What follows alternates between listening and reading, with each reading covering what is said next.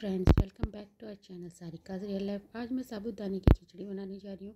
साबुदाना मैंने दो घंटे भिगोने के बाद इस तरह से छान के रख दिया था और यहीं पे मैंने कढ़ाई में ऑयल गरम कर लिया है और ये हरी मिर्च और ये रहा जीरा। ये रहे आलू। हम इसमें आलू डालेंगे। लोग, कुछ लोग टमाटर भी डालते हैं, मगर मैं टमाटर अवॉइड करूँगी। तो मैंने आलू को अच्छी तरह से कट करके धो लिया है। यहीं पर हमारा तेल भी गर्म हो गया है।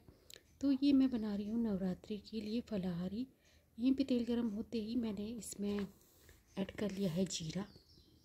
जीरा ऐड करने के बाद जीरे को अच्छी तरह से तिड़कने देंगे। जैसे ही इसमें तिड़कन की आवाज़ आए, वहीं पे हम इसमें ऐड कर लेते हैं हरी मिर्च। बारीक कटी हुई हरी मिर्च। पाँच से छः हरी मिर्च मैंने इसमें डाली है और यहीं पे हम इसमें ऐड कर लेंगे ये आलू कटे हुए। आलू को अच्छी तरह से चलाते हुए मिक्स करेंगे। हल्का सा ऑयल मैंने इसमें इसलिए ज़्यादा रखा है क्योंकि साबुदाना जो है थोड़ा सा चिपकने ही लगता है, चाहे आप उसे कितना भी बना लो। और यहीं पे मैं इसमें ऐड कर लूँगी सेंधा नमक। सेंधा नमक ऐड करने के बाद इसको अच्छी तरह से मिक्स कर लेंगे आलू में। और कुछ इस तरह से चलाते हुए। यहीं पे मैं इसमें ऐड कर लेती हूँ काली मिर्ची, जो कि मैंने घर में ही इसे पीसा था।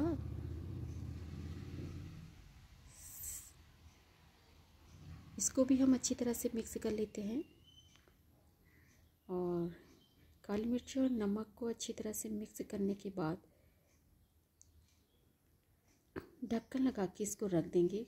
कवर करके रख लेते हैं। बीच बीच में मैं इसको चेक कर लेती हूँ। आलू पके कि नहीं पके?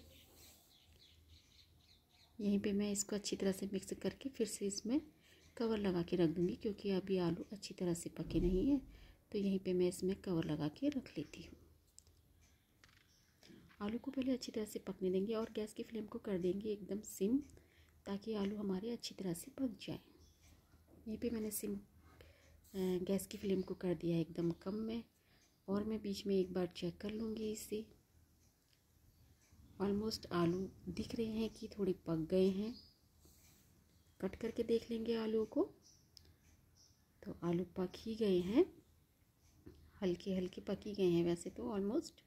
यहीं पे हम इसमें ऐड कर लेंगे ये साबुदाना। साबुदानों को जो है दो से तीन घंटे आराम से भीगने दीजिए ताकि ये खुद ही सॉफ्ट हो जाए और हल्का सा पकाने पे ही पक जाए। आलू जब हमारे एक बार अच्छी तरह से पक जाए तो हम इसमें साबुदाना ऐड कर लेंगे और इसे अच्छी तरह से मिक्स कर लेंगे। और बहुत जल्दी पक जाता है साबुदाना, अगर आपने भिगोया है, आपका भिगोने में अच्छा फूल के रेडी हो गया तो साबुदाना बनने में, पकने में टाइम नहीं लगता है। यहीं पे हम इसको कवर करके रख देंगे और इसमें गैस की फ्लेम का बहुत ध्यान रखना होता है, क्योंकि साबुदाना बहुत जल्दी बर्तन में लगने लगता है चिपकने लगता है। एक बार मैं साबुदाने को ऊपर नीचे कर लूँगी, अच्छी तरह से मिक्स करते हुए। हल्का हल्का तो पक ही गया है। कुछ ही रह गया। यहीं पे मैं इसके साथ बनाऊँगी टमाटर की चटनी, हरा धनिया और यह है हरी मिर्ची। चटनी की रेसिपी भी मैंने अपने एक ब्लॉग में शेयर की हुई है। बीच बीच में ऐसे बहुत केयरफुली बनाना पड़ता है ताकि नीचे चिपके ना। अगर आपके पास नींबू है तो आप इसमें नींबू इसमें ऐड कर सकते हैं बनते हुए ताकि ये नीचे चिपके ना, आपस में चिपके ना। यहीं पे देखो कितनी जल्दी बन के रेडी हो गया और यहीं पे मैंने इसमें ऐड कर लिया है हरा धनिया। अब हम अपनी प्लेट लगा लेते हैं। तो ये रहा हमारा साबुदाना, जो टेस्ट में बहुत ही अच्छा लगता है और मेरा फेवरेट है। तो इसे आप साबुदाने की खिचड़ी भी बोल सकते हैं। आलू मिक्स करके कई लोग टमाटर भी मिक्स कर लेते हैं। और मैं व्रत में बना रही हूँ। तो मैंने सिंपल ही बनाया है, काली मिर्च वगैरह डाल के इसे आप आगे पीछे भी खा सकते हैं। और दिनों में भी इसे खा सकते हैं। तो यहीं पे हम इसे दही और चटनी के साथ लेंगे। यहाँ पे मैंने दही भी इसमें रख लिया है अपनी प्लेट में और चटनी भी रख ली है। टमाटर की चटनी और दही के साथ वास्तव में ये बहुत ही स्वादिष्ट लगता है। और वैसे भी व्रत का हर एक फलाहारी खाना बहुत ही टेस्टी बनता है।